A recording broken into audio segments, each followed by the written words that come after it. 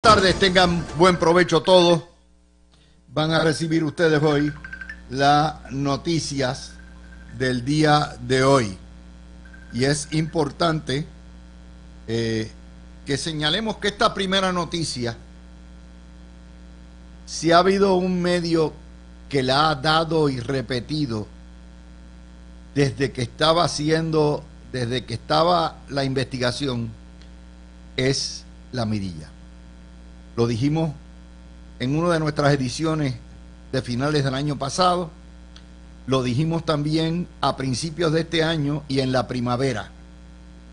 Se trata de las investigaciones del FBI sobre casos de soborno y casos serios de corrupción del senador popular demócrata por el estado de New Jersey, Bob Menéndez, que es el poderoso presidente de la Comisión de Exteriores del Senado de los Estados Unidos.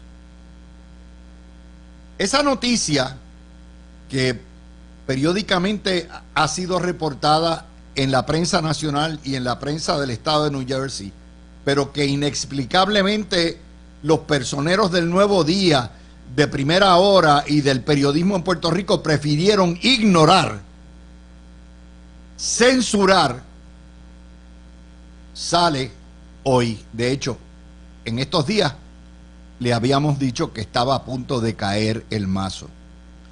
Por lo tanto, aunque no es una historia natural o criada o hecha en la mirilla, ciertamente nadie puede cuestionar que hemos sido el único en todo Puerto Rico que le ha dado a ustedes el seguimiento a esta historia y que el resto de la prensa de Puerto Rico la ocultó por tratarse de un senador popular. El único senador, de hecho, el Partido Popular se ufana, le llaman el senador de Puerto Rico.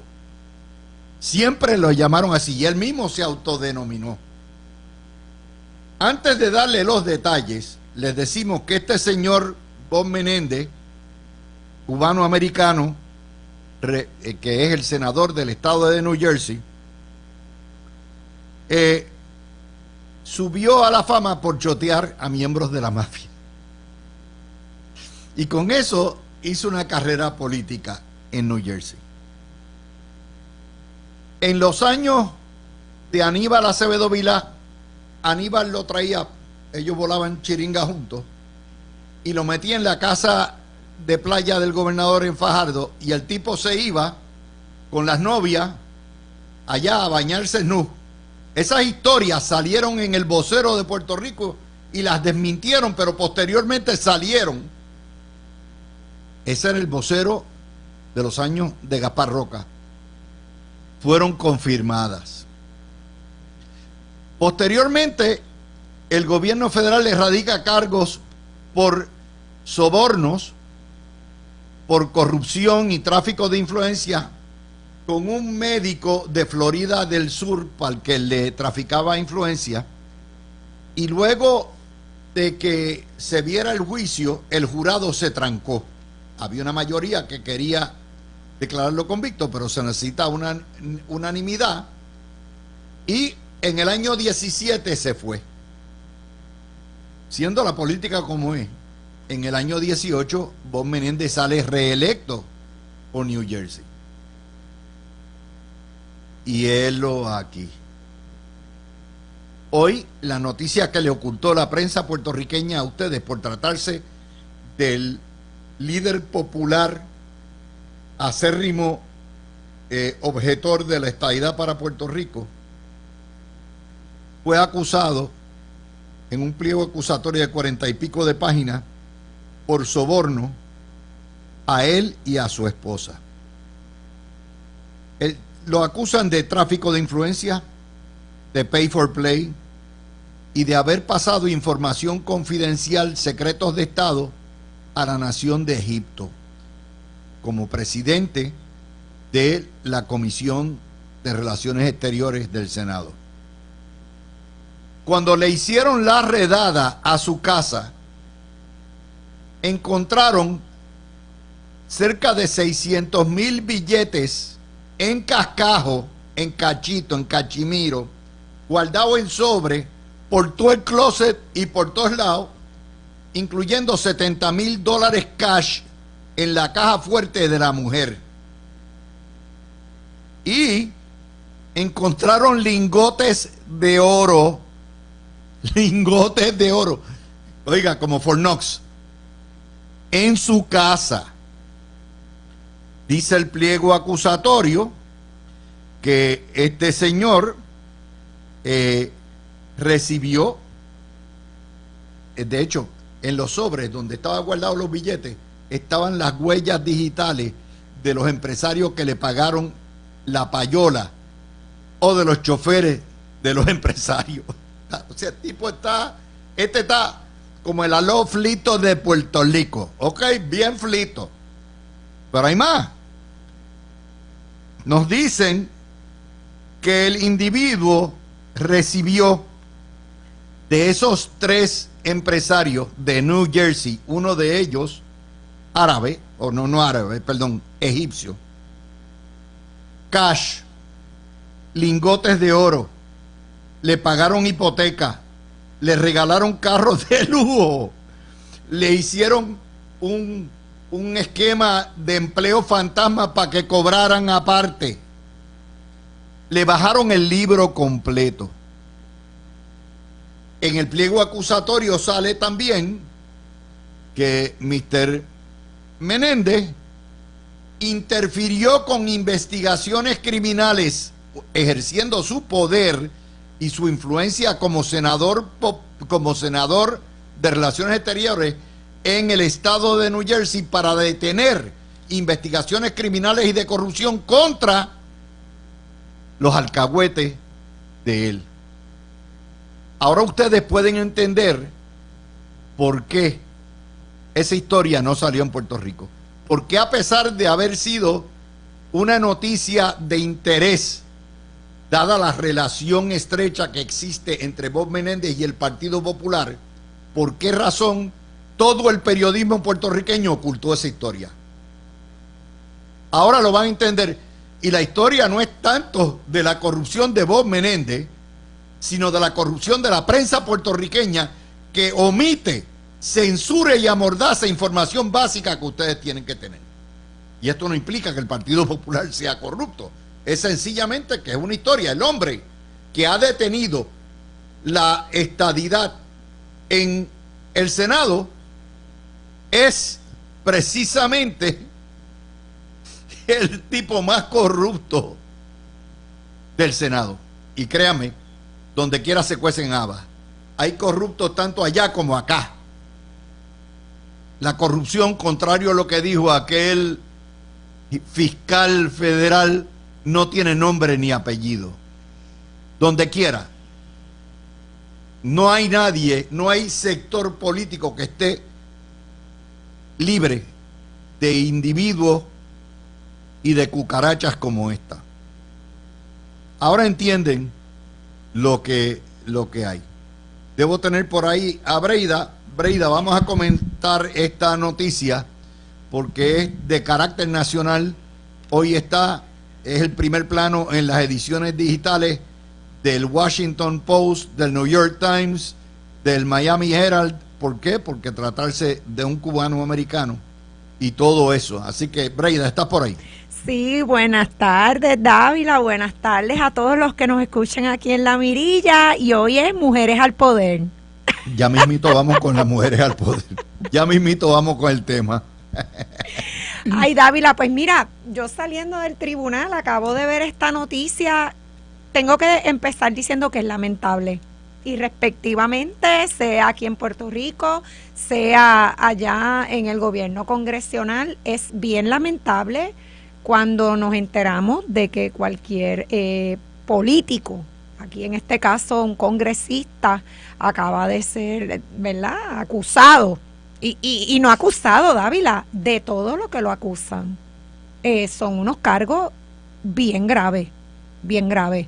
Y la verdad es que tengo que decir que es lamentable, y respectivamente de todo lo demás, ¿verdad? De, de, de que aquí la prensa no lo cubra, Eh, ya sabemos, ¿verdad? Este, que ese es el modus operandi, pero, pero la realidad es que me da, me da mucha tristeza poder ver esto, porque es que Dávila, estas cosas laceran la confianza de los ciudadanos en sus instituciones políticas y, y la verdad es que cada vez que las escuchamos nos sentimos como, como decepcionados.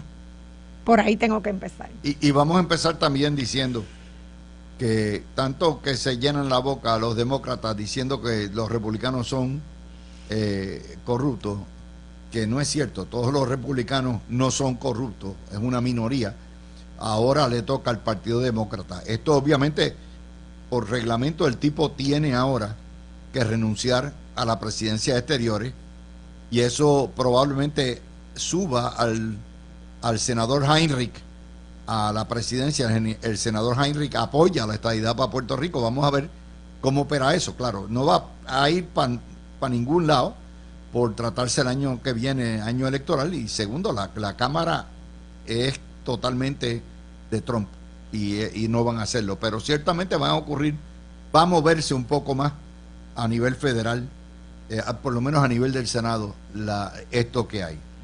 No, Dávila, y, y, esto lo que no, nos deja ver es que estas posiciones que a veces se esgrimen en los medios noticiosos, tanto aquí como a nivel nacional, de que la corrupción tiene, ¿verdad?, un color o un partido. Dávila, eso no es cierto. Eh, eso Perdóname, no es eh. Breida, un momentito.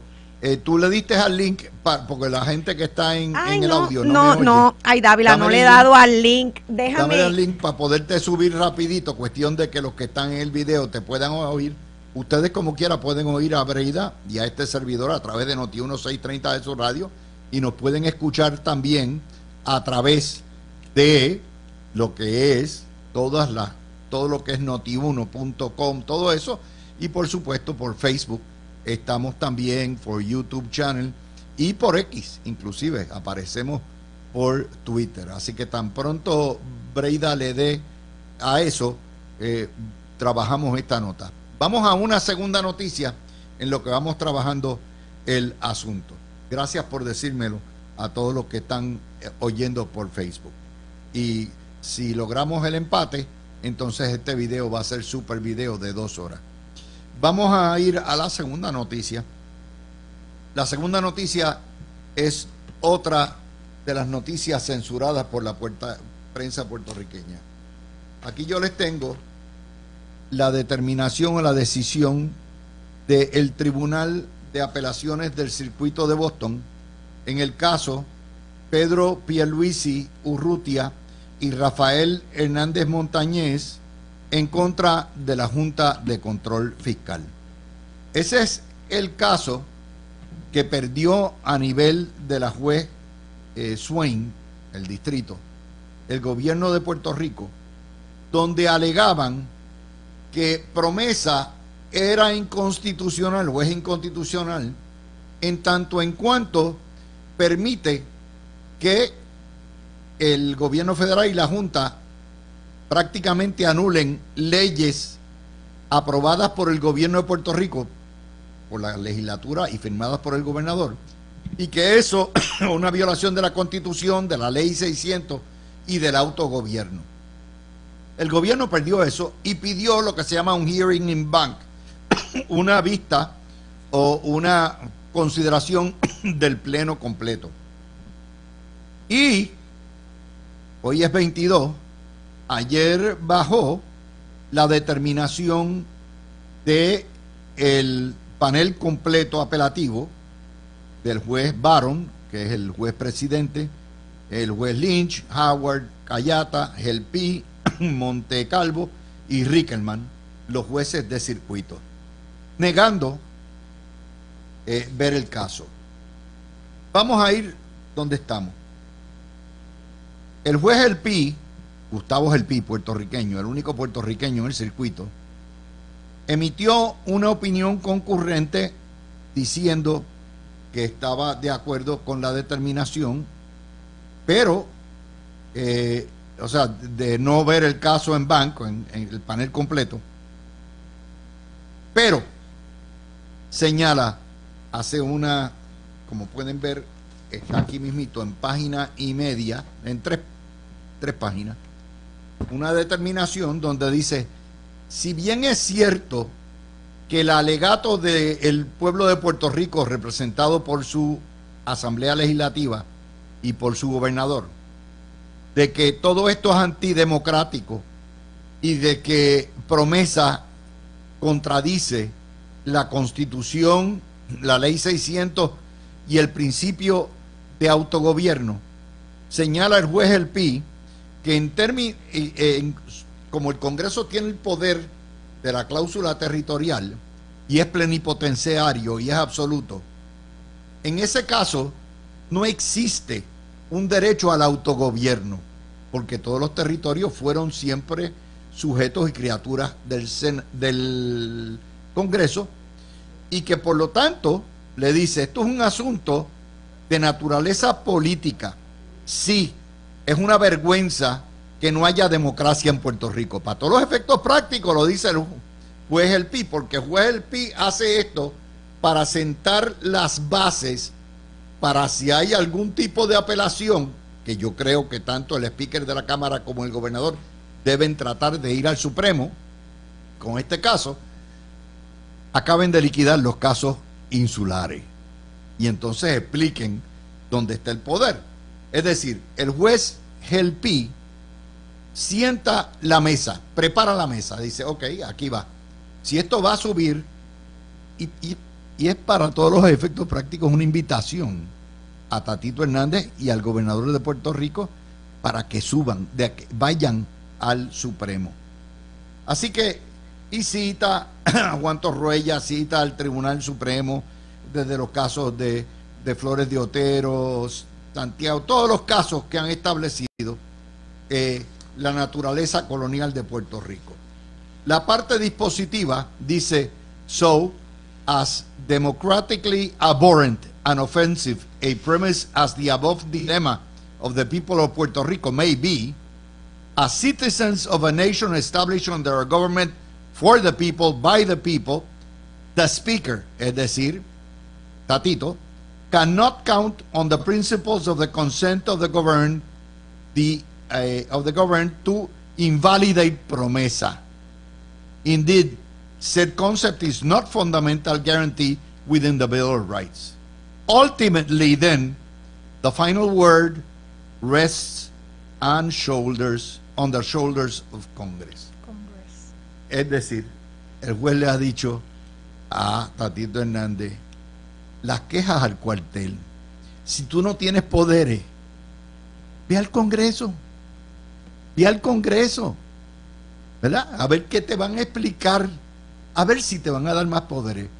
¡Qué bueno Elena! Por ahí empezamos eh, con Breida. ¿No, ¿No te has podido conectar, Breida? Sí, sí, ya me conecté, estoy viendo ah, aquí. Ah, pues yo lo que pasa es que no, sí, pero yo, por lo menos yo espero que se, de se oiga, no te estoy viendo acá, a lo mejor es que yo estoy, déjame ver si aparece, no, no me aparece aquí. Ok, déjeme, déjame ver aquí. tiene que darle, este, tiene que darle. Estos son eh, hazards técnicos. Sí, son cuestiones técnicas, pero a ver, si aparece. Vamos a ver ahora. Ahora sí que apareciste. ¡Qué bueno! Hacía tiempo no nos veíamos. Muy bien. Ahí estamos los dos. ahora todo el mundo te puede ver. Ay, sí, me gusta. Qué chévere. bueno, Vamos ahora a tu postura sobre este tema. Nuevamente, una opinión que sale ayer temprano en el circuito y la prensa puertorriqueña ignora. Otra más que Chonky News eh, eh, se pasa. Adelante. yo creo que tengo un poquito de feedback. Mira, a ver. Tenemos mucho feedback.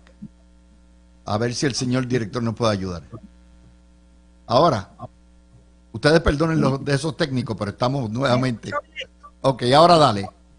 Bueno, buenas tardes. Aquí estamos en, en la imagen. Hacía tiempo que no hacíamos esto, Dávila. Sí, es verdad. Cuando hacíamos los cuatro en la covacha, que hacíamos cuatro panelistas y cinco y seis. Yo me acuerdo de eso.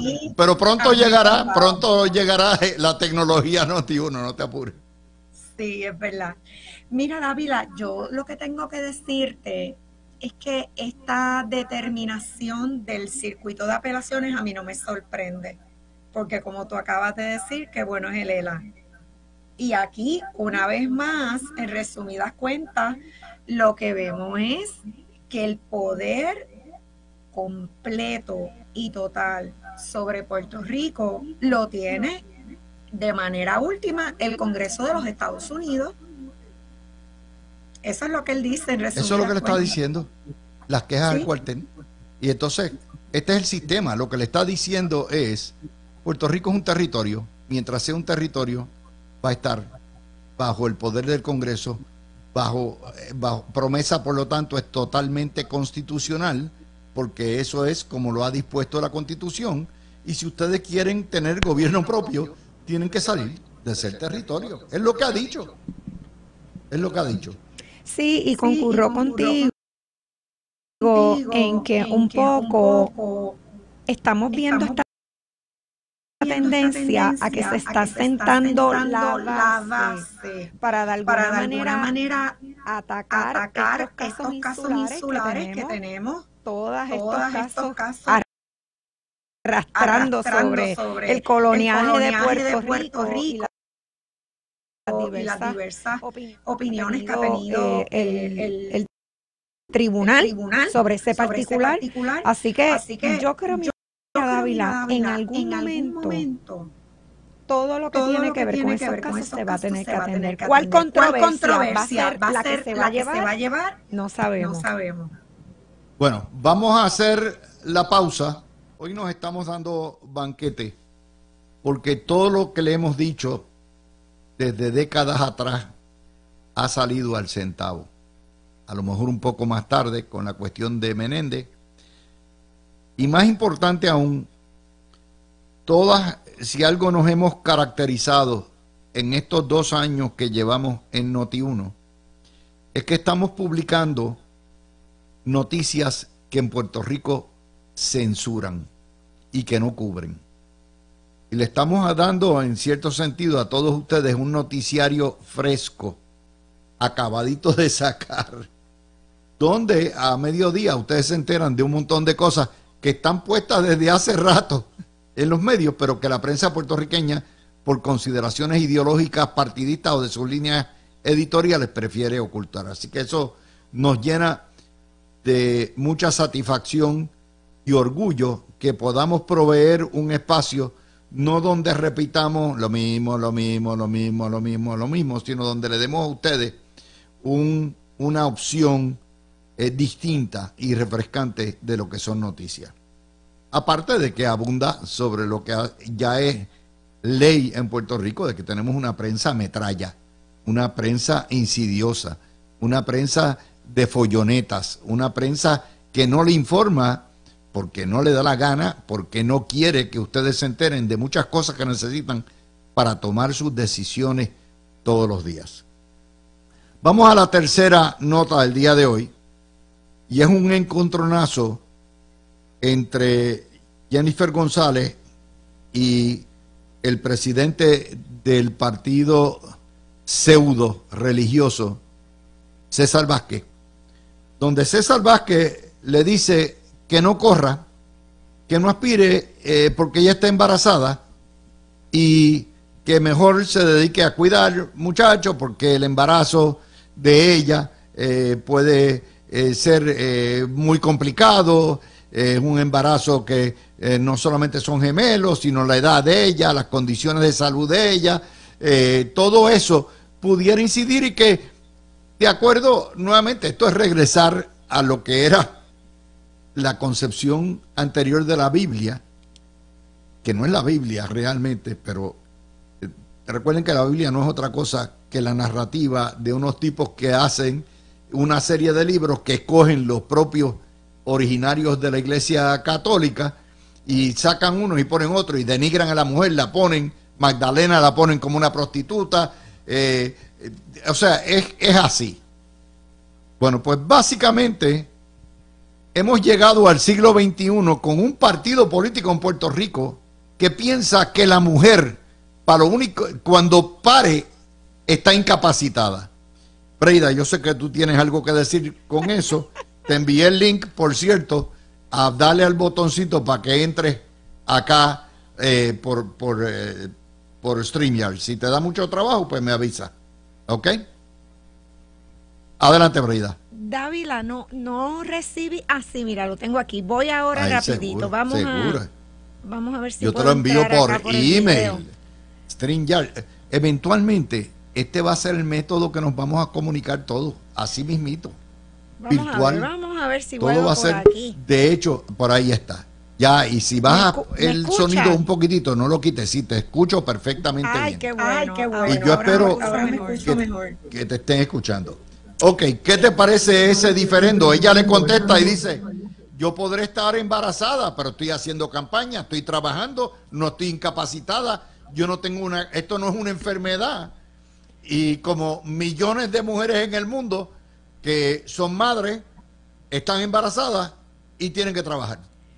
Mira, David, Mira, yo, he escuchado, a este señor, al doctor César Vázquez, en muchas ocasiones dialogar sobre, dialogar sobre muchos asuntos, que, conciernen, a, la mujer, puertorriqueña. Y tengo que decirte que siempre me, me ha chocado, ¿verdad?, sus posturas. Pero tengo que decirte que esta vez, ciertamente, este señor se fue a otro nivel.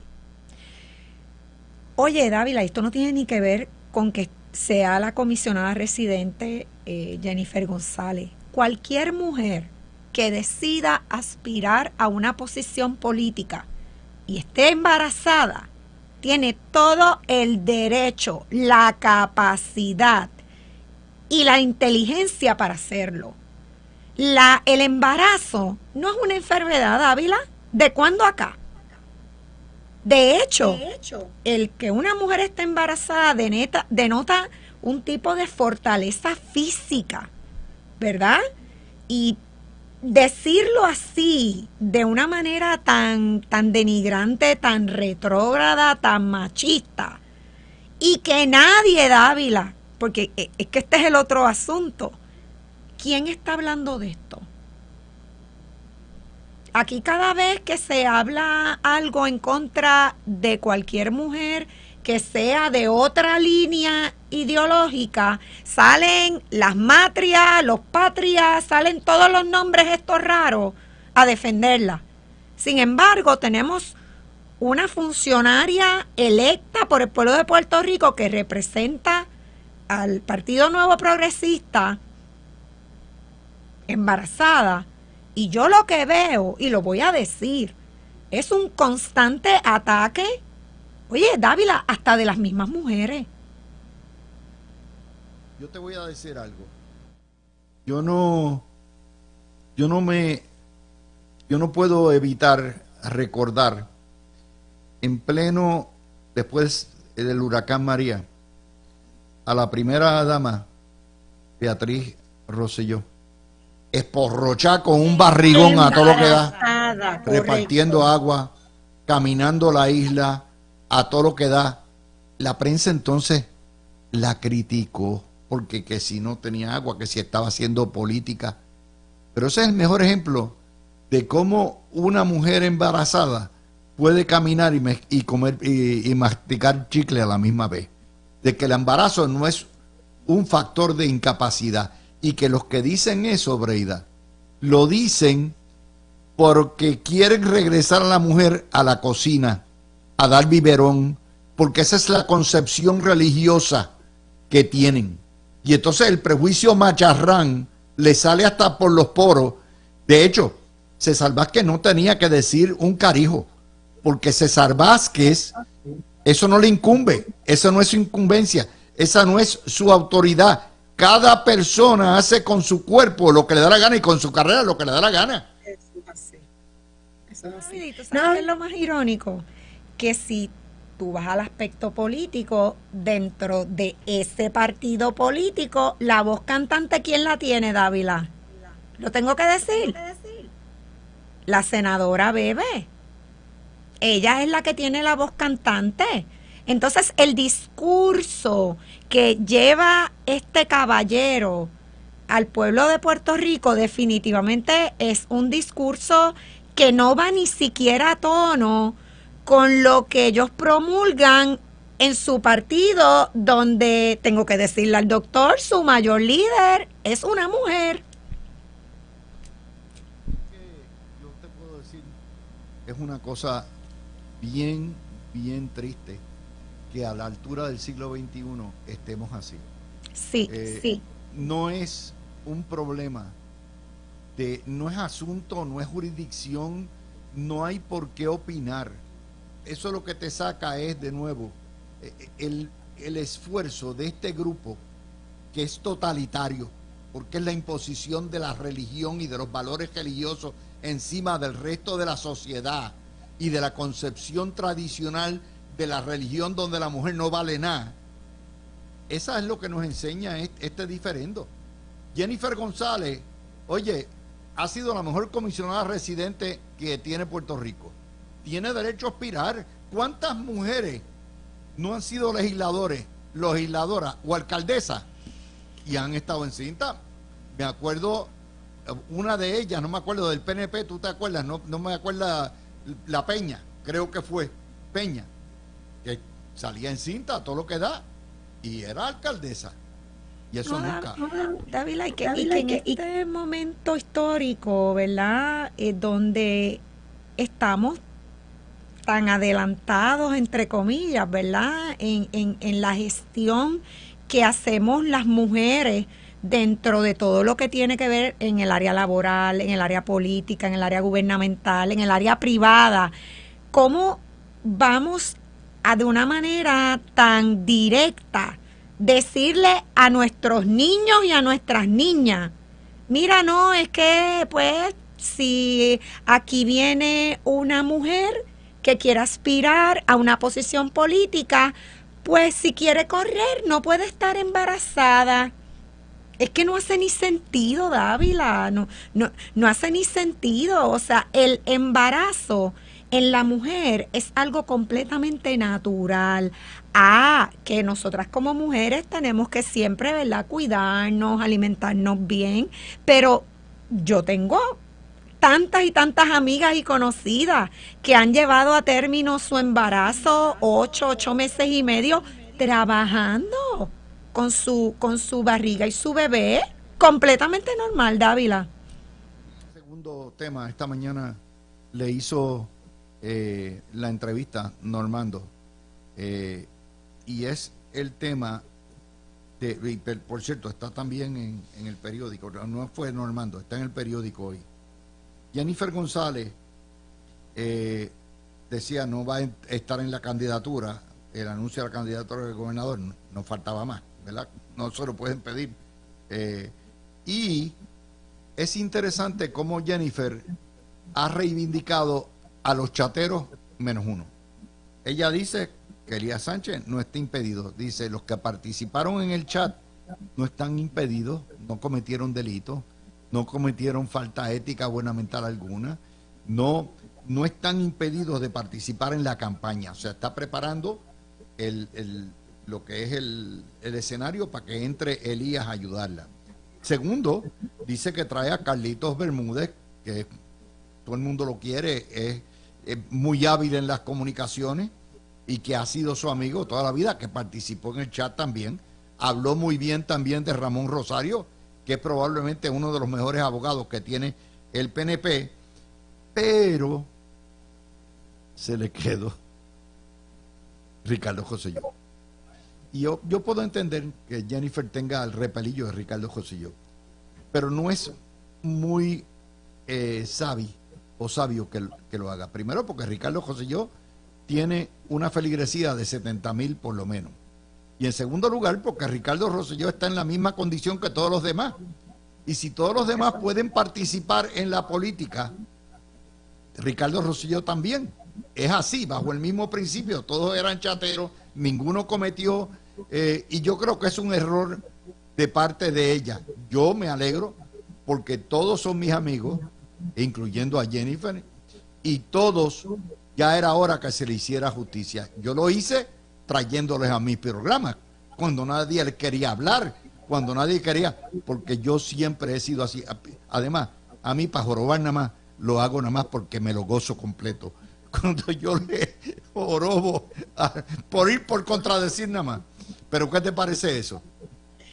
Pues mira, David, esta situación con el chat, eh, el tiempo ha ido colocando a cada persona y a cada asunto en su lugar. Me explico.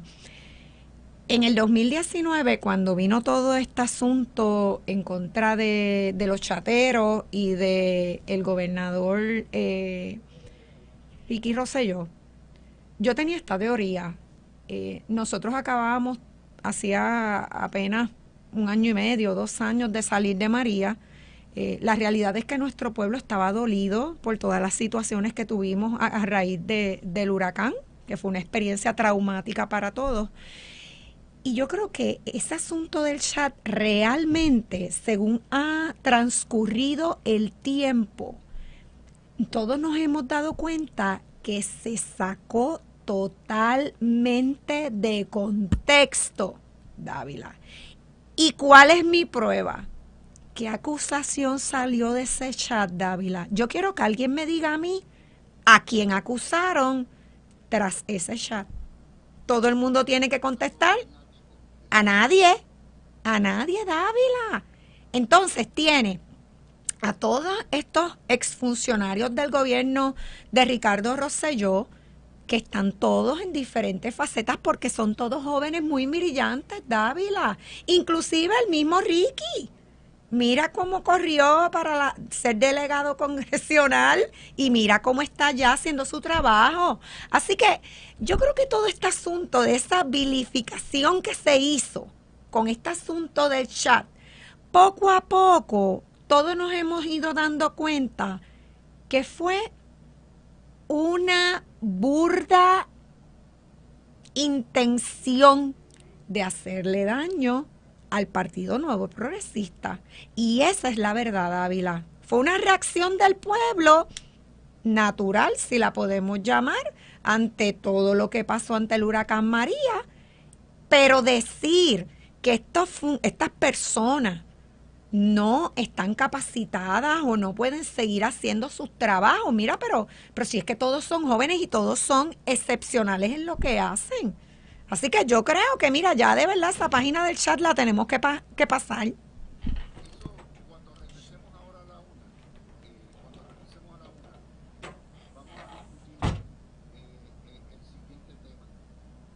cómo todo esto empata con el operativo político que le están haciendo a Tomás Rivera Schatz en Telemundo, porque es idéntico al que me hicieron a mí.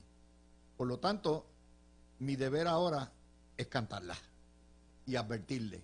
Esto es un operativo, esta es la prensa HP que tenemos, es el independentismo quien controla. Claro. Esto es lo que hay y la gente tiene que entender esto para que lo comprendan. Yo no soy santo de la fe ni de la devoción de Tomás Rivera Schatz. Tenemos diferencias y hemos tenido encuentros y hemos tenido eh, acuerdos pero ciertamente hay que hacer, hay que explicarle a la gente lo que está pasando con Tomás Rivera Schatz y Telemundo para que la gente entienda cómo esta dictadura de aquellos que reclaman la libertad, la libertad de expresión, la libertad de expresión para meterse en los sitios, para invadir, para destruir, para hacer todo eso, son los primeros represores y opresores de una libertad de expresión legítima. Y eso hay que señalarlo. Así que hoy cerramos el segundo video. Breida, vamos a dar ahora a entrar en el tema de la prensa. Yo todos los días aquí doy una clase de periodismo 101 de lo que no debe ser y cómo el periodismo en Puerto Rico no solamente está corrompido hasta el tuétano de los huesos, sino totalmente radicalizado. Te voy a dar dos ejemplos, tres ejemplos hoy. El vocero, página 27. Suben en julio las ventas al detal 3.8% y el titular es desaceleran las ventas. Es decir, una noticia positiva económica te la degradan con desaceleran las ventas. Pero hay dos cosas que surgen de ahí. Número uno, la historia, la reportera, en este caso, dice que eso es un tema positivo. Y lo dice así, bien clarito, bien clarito. Y a pesar de eso, le meten el estribillo, desaceleran. Pero peor aún, si tú miras Lo, lo que te están dando, vamos al otro, sin comillas. La manufactura está en expansión, pero la actividad se está desacelerando. Y Luisa García Pelati pone una estadística, cuando tú ves, toda la estadística va para arriba, prácticamente. Claro, la economía no es estática, no es todo el tiempo para arriba ni todo el tiempo para abajo.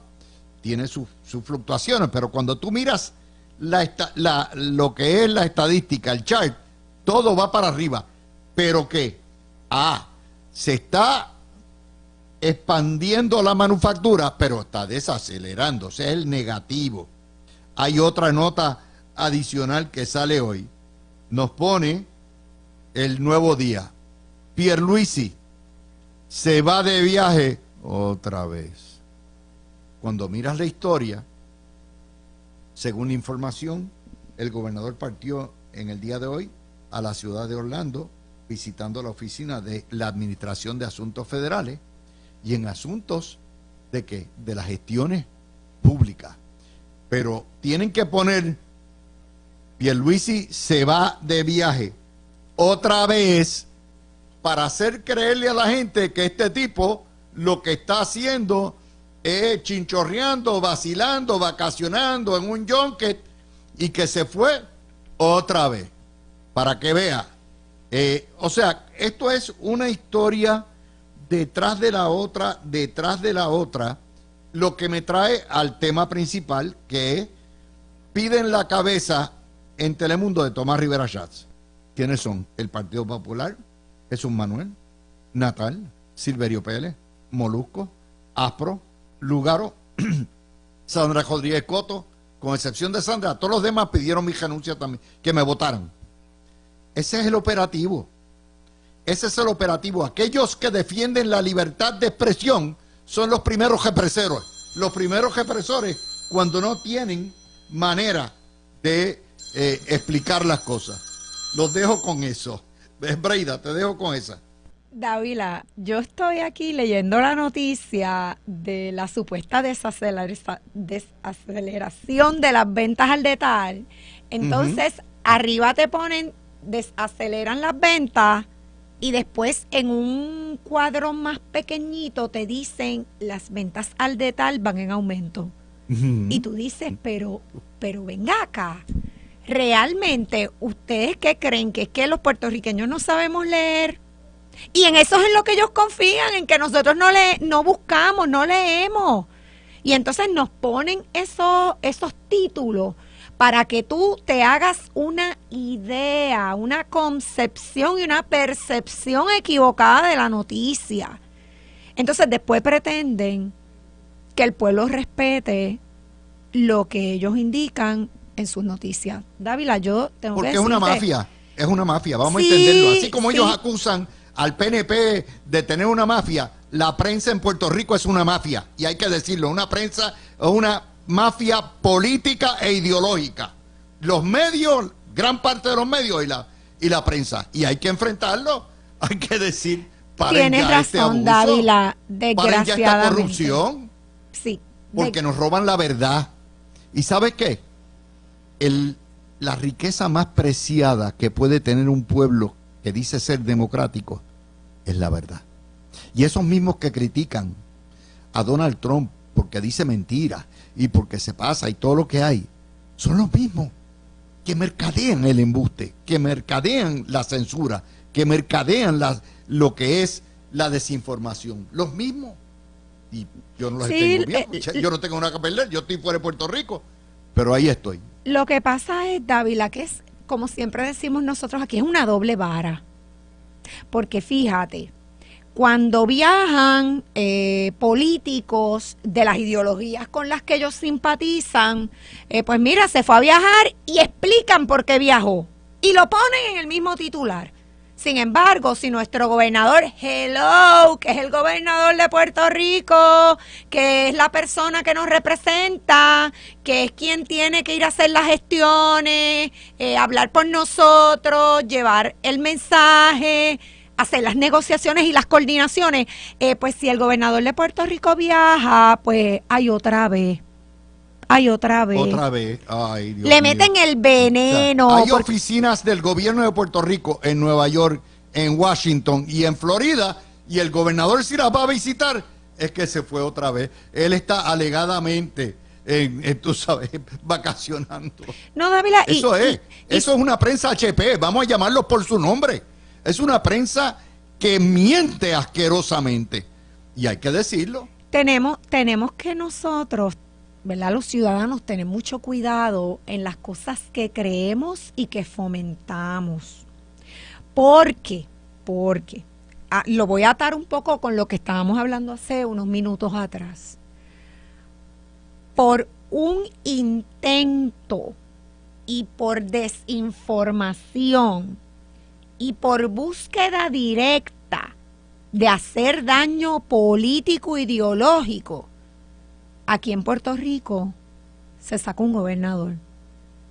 Y nosotros como ciudadanos tenemos que tener cuidado con eso, porque siempre están tratando de lacerar nuestros funcionarios, nuestras instituciones, y eso tiene un propósito, Dávila.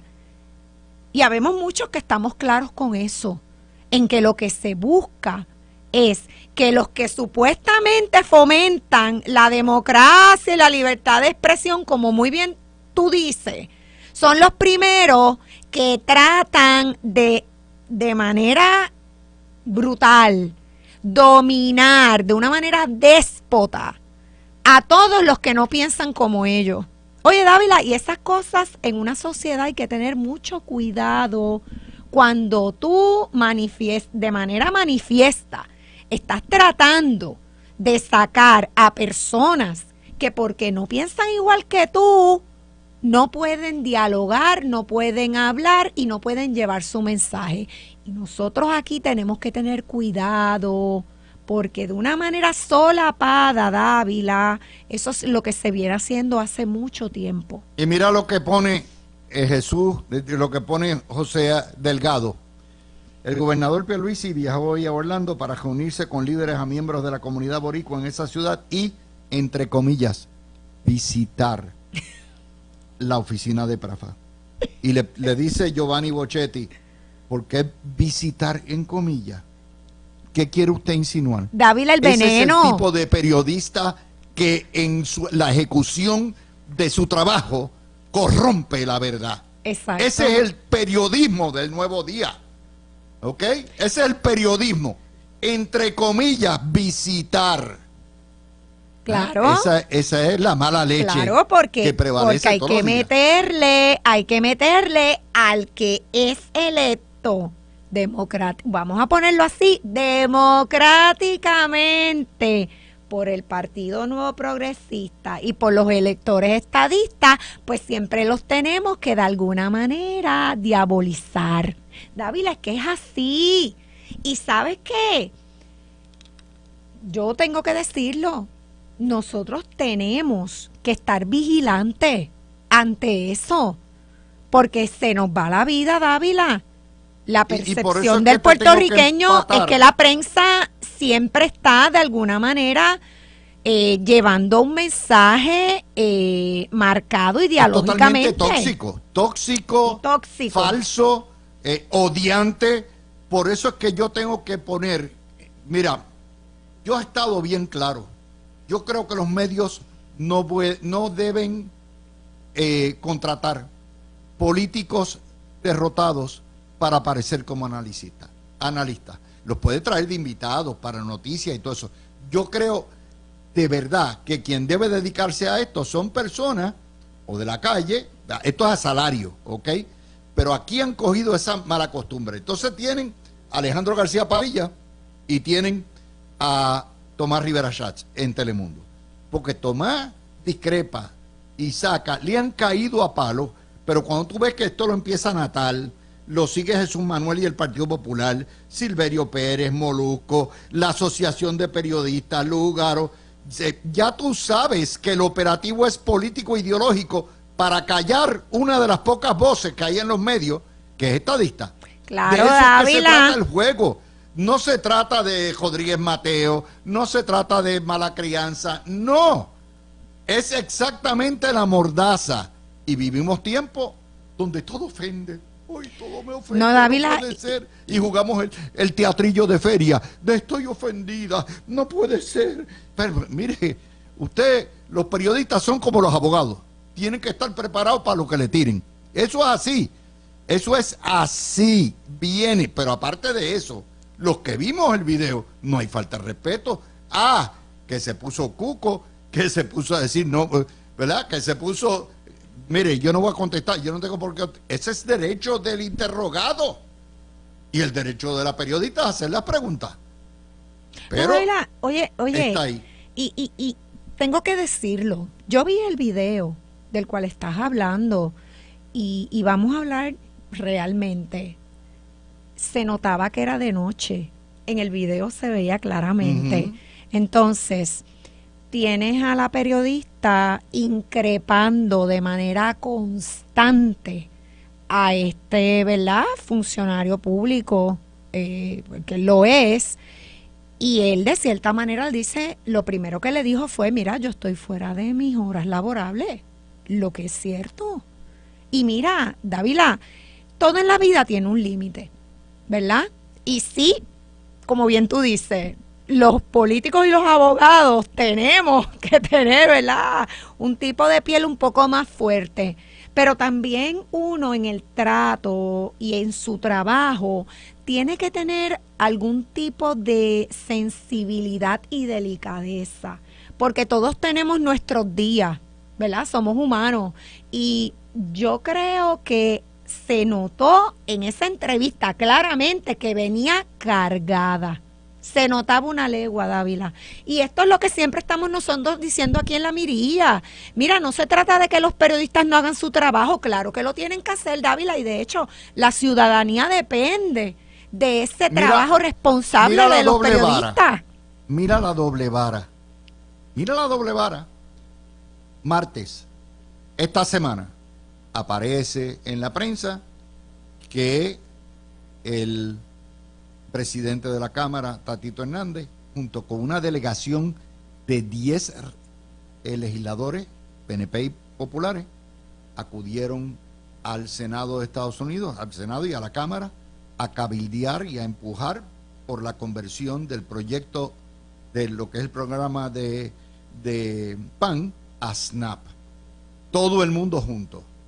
Ese viaje oficial que va unido de la mano de la política del gobernador y la política del Partido Popular, nadie cuestionó el viaje.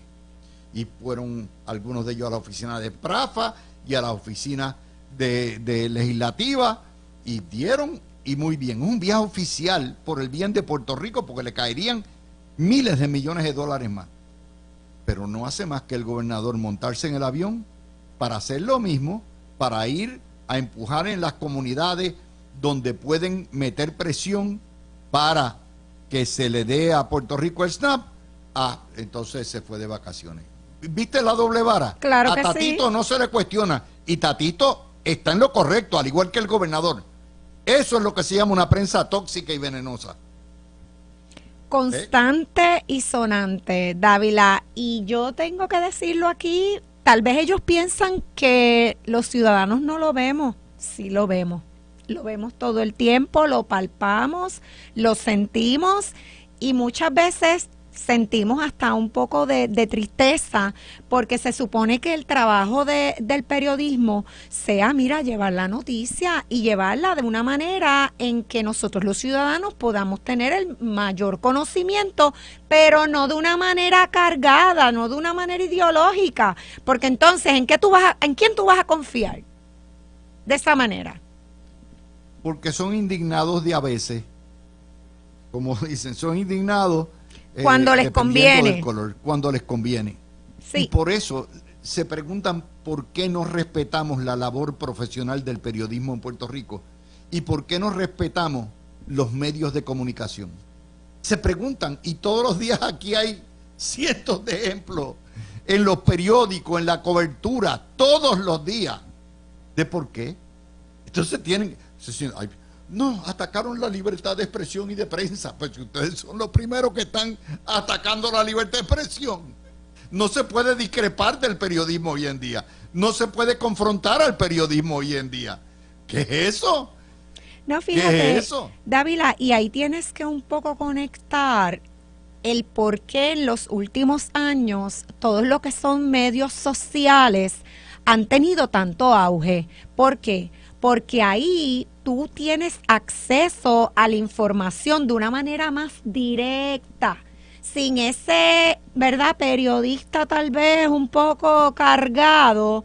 Y tú tienes la oportunidad de ver la noticia ahí o de ver el acontecimiento y tú formarte tu propia opinión sin que nadie te diga, no, mira, es que esto es así, o que te ponga un titular ahí, este, como dices tú, tóxico, cargado. Pero no se te olvide tampoco, esos son los mismos medios que permiten, asusan y mantienen a un tipo como Aníbal Acevedo Vilá como analista de una estación de primera línea. Eso es así. Hello, y le pagan. Y le, pagan. O sea, este, este, es el hijito de Bob Menéndez. Este es. No, pero le pagan. Ese es el periodismo en Puerto Rico. Oye, Dávila, yo te quería decir que en cuanto al, a Tomás Rivera Chats, yo creo que simplemente el, el, senador es de todos en el PNP, él encara al periodismo y lo hace de una manera firme y habla directo y al grano. Y pues yo creo que por eso es que por ahí es que vienen atacando, así mismo como lo hicieron contigo. Seguro. Eh, y, y por eso es que los estadistas no apreciamos el trabajo profesional, no les creemos la mitad del tiempo, ¿ok? Y cuando vienen con fanfurria, los confrontamos con respeto, sin violencia, con firmeza, que es como hay que hacerle. Y lo que hacemos es le desmontamos la idea. Ok, en el campo de las ideas te voy a esbaratar, esbaratar tu embuste y tu falacia con la verdad. Esta es la verdad. Pam, pam, pam, pam, pam, y se la cantamos pero eso los pone furiosos. Claro que los pone histéricos, porque ellos lo único que saben es decirte fotuto. Ellos no saben otra cosa, fotuto. Eso ellos no pueden decir, aquí se le fueron. Y por esa razón el programa de hoy ha sido tan importante, porque probamos nuevamente en esa primera media hora que damos historias, que damos noticias que ocultan en Puerto Rico, que no las dan porque no les conviene a sus líneas editoriales, pero se lo olvidaron que en Puerto Rico el derecho de libertad de prensa corresponde a todos los ciudadanos y no a los medios nada más. Y que todo el mundo tiene derecho a opinar, a expresarse y gracias a Dios a poner en las redes lo que crean. Esos son los tiempos, lo que es igual no es ventaja, ¿verdad? Eso es así. Eh, desgraciadamente en Puerto Rico no hay un solo periódico estadista, no hay una sola estación de televisión o telediario estadista y son muy pocas de, hecho, yo no creo que no exista ninguna que sea exclusivamente estadista como Fox News. Y por esa razón, aparte de que el PNP tiene una trulla de políticos cobardes pusilánimes y por eso tienen el problema con su propia base y su propio electorado, que está exigiendo que se den a respetar y que confronten y nada. Por eso tienen primaria. Por esa razón la gente se va para dignidad o se va y no vota no comprenden lo que está pasando allá abajo en ese río subterráneo. Todas estas noticias hay que empatarlas, Breida. Vamos a hacer la pausa. Hay dos notas que quiero discutir, esta vez del vocero. Son el censo, que es decenal, hace ajustes y proyecciones cada dos años, porque en gran medida eh, la base poblacional es crítica para la asignación de fondos federales en distintos programas. Por lo tanto, si ha crecido o ha bajado, se ajustan. El censo del año 23 o el ajuste del 23, que es del 22, los números, dice que siguen creciendo los hispanos los hispanos estamos proyectados a convertirnos en casi el treinta y pico por ciento de la población de la nación eh, para medio siglo, y cuidado si antes, sigue creciendo sobre cualquier otra población. Hay en Estados Unidos 36 millones de mexicanos, 9 millones de boricuas, yo cuento los de los de la isla, esto es parte de Estados Unidos, esto es Estados Unidos, 2.5 millones de salvadoreños, 2.5 millones de venezolanos, 2 millones de cubanos. El grupo que obviamente más ha crecido en este año ha sido los venezolanos, venezolanos porque están huyendo de la narcodictadura comunista de Maduro y cruzan la selva del Darién por Centroamérica y llegan a la frontera. También es así que el presidente Biden acaba de darle lo que es un estatus provisional que les garantice que puedan trabajar en Estados Unidos en lo que se tramita su eh, pedido de asilo. Hay además 47 millones de afroamericanos, 5 millones de asiáticos, 2 eh, millones de las distintas tribus de los pueblos ancestrales y las proyecciones siguen siendo de que entre el 45 y el año 50 el, la mayoría blanca anglosajona se va a convertir en una mayoría, una minoría, y lo que son las minorías hoy se van a convertir en una mayoría, y la cabeza de, playa, la, de eso vamos a ser los, los hispanos. Ese es el tipo de nota, me alegra que la haya sacado el vocero, pero ciertamente que no se discute mucho, porque si al puertorriqueño le dicen, ven acá, tú vas a ser la cabeza de playa de la, de la nueva mayoría dentro de 20 años, no, no, dicen yo ahora separarme, me tuvo que chupar 130 años o 150 años de coloniaje, ahora es que voy para adelante. ¿Qué te parece? Pues Dávila, pero esas son las noticias importantes que los puertorriqueños tenemos que escuchar y que tenemos que conocer. Fíjate tú, tienes al grupo de puertorriqueños, ¿verdad? Que somos ya la entre los hispanos el segundo grupo más grande. Y yo tengo que preguntarme, ¿Y cómo se refleja eso en la participación política de los puertorriqueños a nivel nacional? ¿Se refleja, Dávila?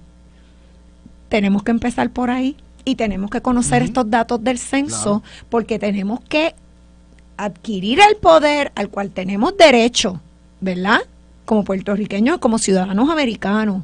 Y tenemos que dejarnos escuchar allá en Estados Unidos a nivel de Congreso. Y yo invito a todos los que, ¿verdad? Estamos aquí siempre pendientes a todos estos asuntos. Hay que educar y hay que orientar y hay que explicarle a la gente que todo lo que tiene que ver con población y censo es importante porque de eso depende mucho los fondos que recibimos aquí en Puerto Rico. Sí, eh, pero es una nota importante porque nuevamente yo quiero ser, como estadista, yo quiero ser parte de esa punta de lanza. Como estadista, yo quiero que si una, uno de cada siete hispanos es puertorriqueño, yo quiero que eso se refleje en poder para mi gente. Claro que sí. En poder, en igualdad para mi gente. Y no es lo mismo ser, ¿verdad? Eh, cabeza de ratón que rabo de león. Yo prefiero estar en el león que, que en la ratonera. Lo otro que te doy es una nota que es positiva. Tú y yo nos encanta viajar a todos, yo creo que todo el mundo en la mirilla le encanta viajar. El DMO, que es el, brazo del gobierno para promocionar a Puerto Rico, busca aumentar el turismo europeo. Eh, solamente el 94% de los turistas que vienen a Puerto Rico son de Estados Unidos, los europeos 2%.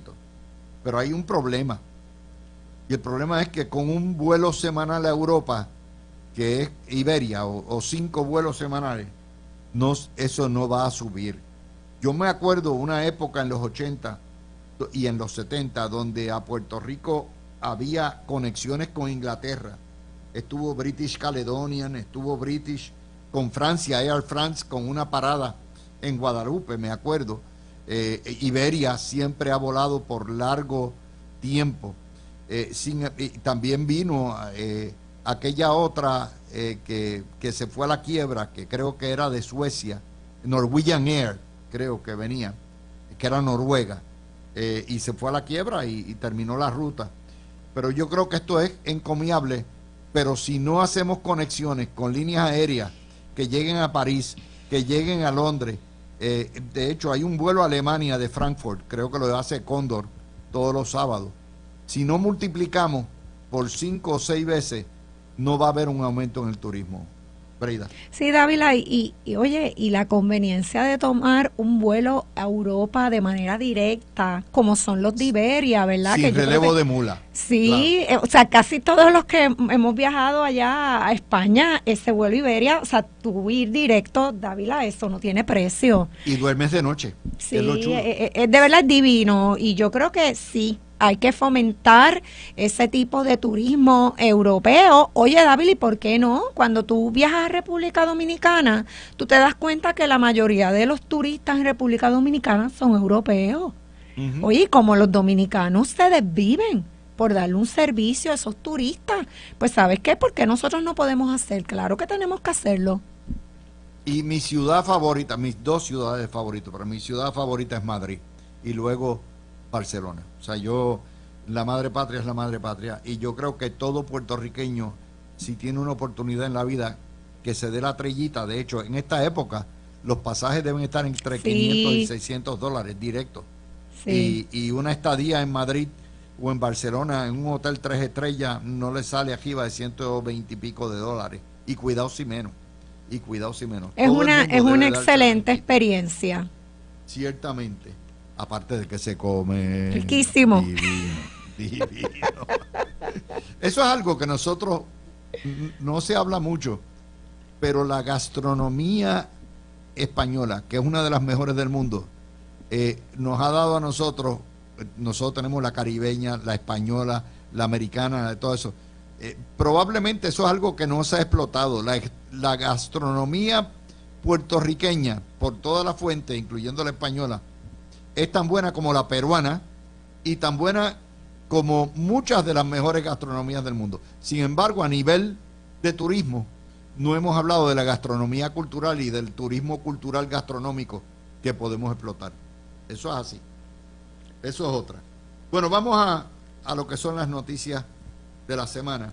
Esta semana, eh, del sábado 16 al viernes 22, estas fueron las noticias nos vamos a empezar con las económicas.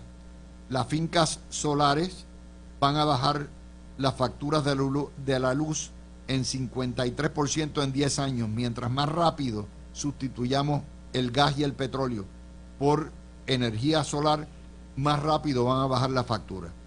El desempleo se mantuvo por segundo mes consecutivo en 6.2%. La policía hizo ayer un arresto de gangas de carjackers Crecen en julio las ventas al detal 3.8%. Sigue expandiéndose la manufactura. Imparable el crecimiento hispano en Estados Unidos. Jennifer González va para encima aún embarazada, eso queda bien claro. El PNP va derecho a primarias por la gobernación. Dignidad y las feministas la criticaron por correr. Jennifer González hoy reivindicó los chateros. Elías Sánchez Carlitos Bermúdez, eh, Ramón Rosario, pero no a Roselló. Javier Jiménez le dice po a Pedro Pierluisi y a Jennifer González, pero Mundo dice que tiene un valor que los redime.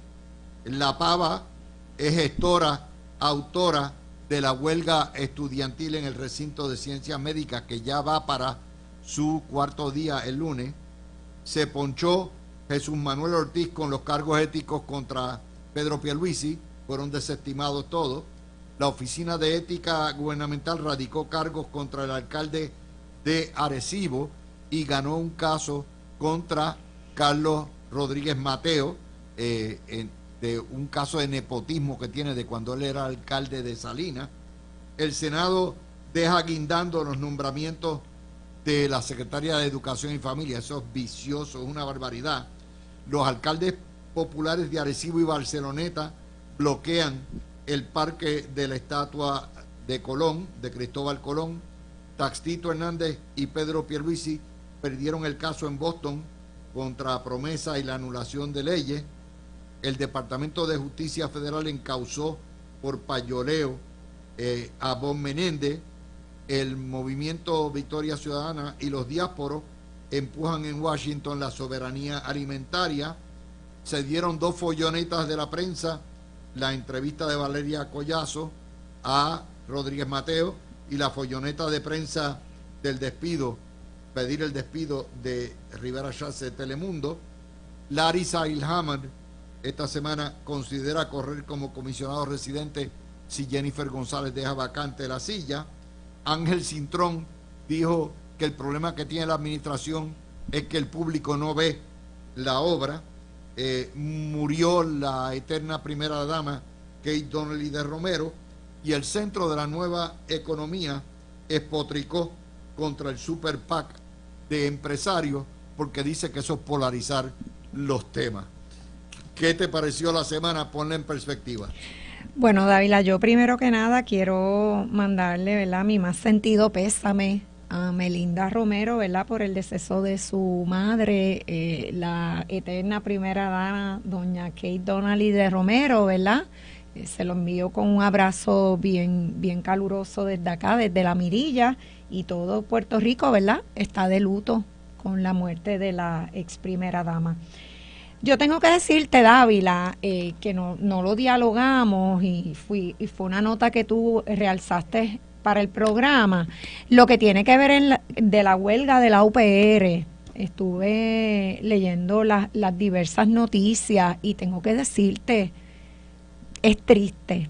Yo soy egresada de la UPR eh, y tú de momento dices, en un momento tan importante en lo que tiene que ver con, lo económico, con cómo nuestros jóvenes tienen que vislumbrar su futuro profesional a nivel de Estados Unidos, a nivel nacional y a nivel global. Tenemos esta misma pelea desde no sé cuándo con los estudiantes de la UPR, con los profesores de la UPR, tratando de que no se den clases, Dávila, en el primer centro docente. No protege el derecho de los estudiantes de medicina y de ciencias médicas a estudiar, que son los primeros, son el sujeto y el predicado. Y la prensa esconde el hecho de que es el Partido Popular y sus eh, eh, totompotes y, y achichincle los que están promoviendo esta huelga. No, Dávila, y programa tras programa, día tras día, el cuento de nuestra isla es que no hay profesionales médicos. Entonces, tienes la universidad más importante en Puerto Rico, en el área de medicina, la quieres mantener cerrada. En serio. Y no, que, lo, que no se le den ni siquiera este, clases virtuales. ¿Por qué no? Porque hay que ser solidario. Miren, con lo que hay que ser solidarios con Puerto Rico con nuestra gente, con nuestros viejos, con nuestros niños. Con eso es con lo que hay que ser solidarios.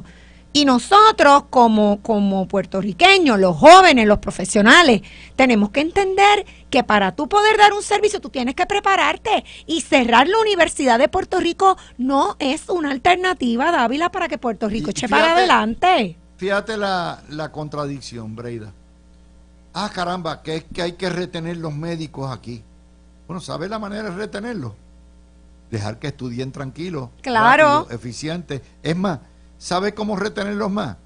Firmen un contrato. Estudiante de medicina que estudie en el sistema público tendrá matrícula y estudios gratuitos, se le pagará un estipendio a cambio de que rinda cinco años al gobierno de Puerto Rico, eh, en Puerto Rico, o diez años, lo que sea, se quede en Puerto Rico y se comprometa.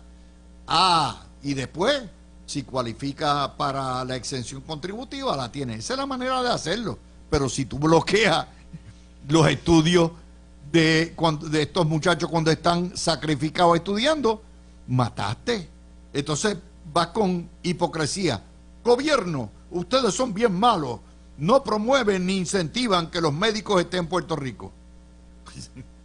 ¿Viste? No, Dávila, y, y, y oye, aquí tienes la contestación de por qué muchas familias puertorriqueñas hacen el sacrificio de pagar una universidad privada para sus hijos. Ahí tienen la contestación, porque desgraciadamente la Universidad de Puerto Rico, que debe ser el centro primordial de la educación aquí, lo tienes eh, raptado por estas personas que lo único que tienen son unas agendas ideológicas, Dávila, porque es que se les ve una milla, se les ve una milla. Y por todo cierran la UPR y cierran recintos aquí, allá, en Mayagüez. Mira, de verdad, de verdad hay que parar con esta broma que tenemos de jugar con la educación. Yo creo que, que esto está invertido. Es una prensa servil al radicalismo y al Partido Popular, los intereses del Partido Popular, y una prensa que se le olvidó defender lo que es la academia, lo que es el derecho a estudiar y el derecho nuevamente a que tengamos médicos buenos puertorriqueños entrenados en Puerto Rico y que se queden. Yo creo que esa es las contradicciones que vemos aquí. También hay otra de las notas que tenemos que discutir hoy.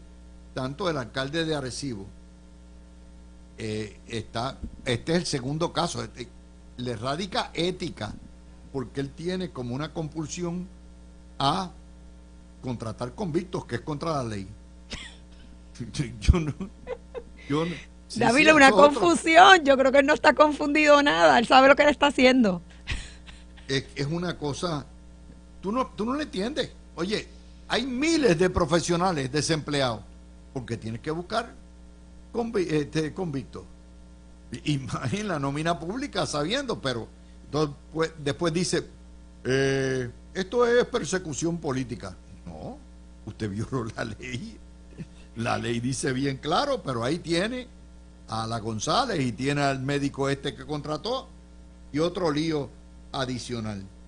Y también otra cosa que se nos quedó en todo esto es la, las críticas del Centro de la Nueva Economía, que es un brazo de George Soros operacional en Puerto Rico, en contra de los empresarios porque hicieron un super PAC para tratar de contrarrestar la propaganda embrutecedora en contra del empresarismo y del sector privado en Puerto Rico y, y le cayó encima yo no había visto nuevamente un intento de censura y mordaza. Esta ha sido una semana de censura y mordaza. Ese es el tema principal, yo creo que hasta todas las noticias. Lamentable, Dávila. La censura, como cuando el mensaje viene del lado de la izquierda, todo está bien, y cómo desgraciadamente estamos atacando todo lo que tiene que ver con el empresarismo, con la libre economía y vamos, va, eh, eh, eh, nosotros aquí a nivel de periodismo, aquí a nivel ideológico, todo siempre está yendo hacia el lado de la izquierda. Y se nos olvida que para sostener económicamente este archipiélago, pues definitivamente tú lo que tienes es que fomentar a los empresarios el trabajo nuestro es ilustrar, dar un punto distinto y refrescante. Breida, yo sé que hoy te ganaste triple overtime, gracias, pero nuestros paneles son así, eh, son profesionales, tienen compromisos y para eso tenemos tres en cada panel, que si falta uno, faltan dos, el otro cubre. Ese es el compromiso y lo hacen de gratis, gratis, completamente lo hacen como un servicio para ustedes. Gracias a Breida Bernal, a ustedes mis amigos, gracias por toda la sintonía esta semana. No se retiren, por ahí viene Carmen Jovet, Zulma Rosario, Quique Cruz y el Gran Falú.